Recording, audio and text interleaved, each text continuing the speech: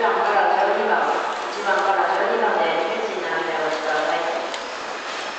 すと、マシナ、大津、シアナ、スタス、森山、ジャス、大宮島、黒川、彦根、米原、中田、田村、終点長浜の順に停車をいたします。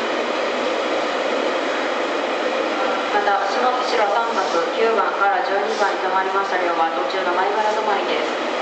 米原よりも先、長浜各駅お越しのお客様、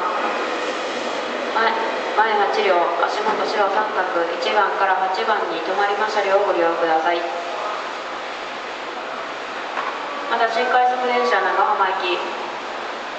途中安にて普通電車前原駅と連絡をいたしております。